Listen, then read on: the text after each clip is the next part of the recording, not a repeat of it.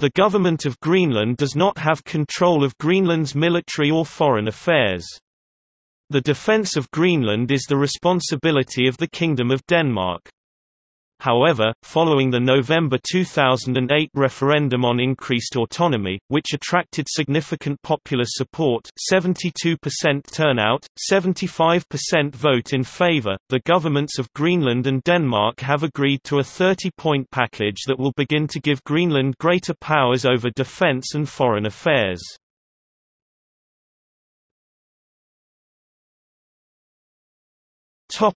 Native military Greenland has no regular military. The Royal Danish Navy maintains several bases, under the Joint Arctic Command, and conducts Coast Guard as well as search and rescue operations.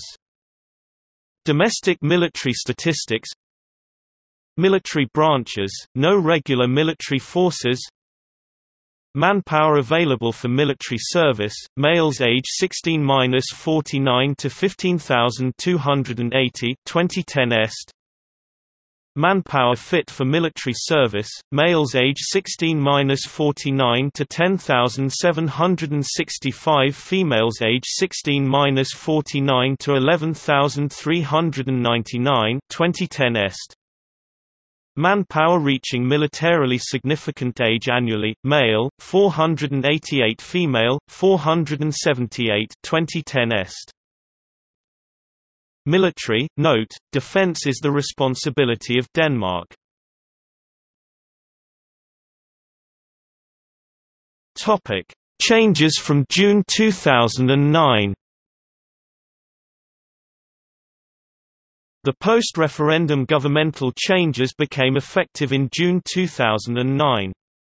Those that affect military provision include Greenland's government will be given significant autonomy in determining foreign affairs. Many aspects of foreign affairs policy will no longer be linked to Danish policy. Control of the militarized Greenlandic Coast Guard will be transferred to the Government of Greenland. The Greenlandic government will take control of policing, including the police motor launchers currently trained to assist military in the Island Command Greenland.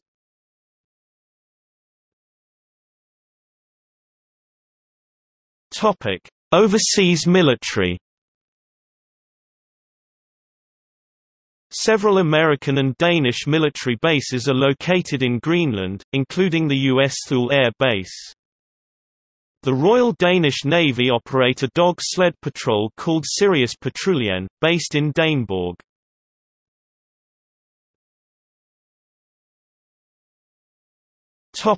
See also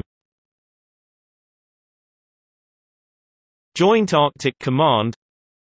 Sirius Arctic Patrol. Military of Denmark